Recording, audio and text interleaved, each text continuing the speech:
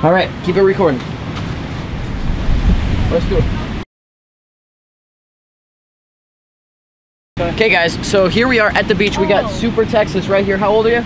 Uh, 13. 13 years old. So here we are at the beach. Uh, I saw a comment or a post on the forum a couple days ago about how do you fly or how does a kid get into flying. It's all just about making sure that you take extra time to ensure that they are safe and do a lot of extra precautions to keep them safe. So in this particular situation, Texas is very calm, in control of his emotions. He's not reckless. He's trusted to follow instruction. He doesn't get overwhelmed. He doesn't freak out. It's like if he gets in the air, he's not gonna panic, freeze, and just crash into the ground. We have a pilot who is mature enough to handle piloting an aircraft by themselves, and we're gonna be super safe, take our time, make sure everything is perfect, and not push bad launches or landings. Isn't that right? Yeah. Let's do it. Boom. Move, let's move. Brake, brake, brake. Brake, brake,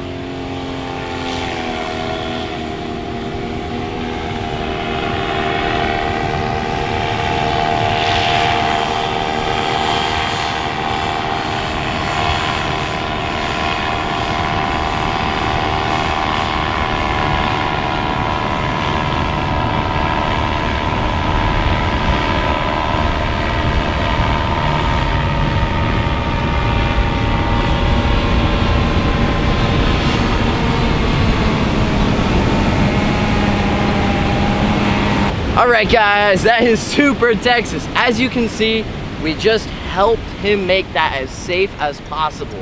We eliminated as many variables. We didn't want the motor on for the start. We just wanted him to get the glider up, get control, not worry about the motor. Then we start the motor for him, keep him moving, and ease him into that power so it doesn't scare him right off of the bat. And as soon as he's in the power, he's up and gone. No question mark. Then as I mentioned, he's a super calm individual and easy to follow instructions. He doesn't freak out. He trusts the person who's guiding him into the sky, whether it's Dell or I, and knows that we have his intentions in mind versus someone who has a mind of their own and ignores what we're saying and does their own thing. He follows the instructions well. And when you do that, flying's safe. It's easy, it's simple. It's just about building those skills and doing it the right way.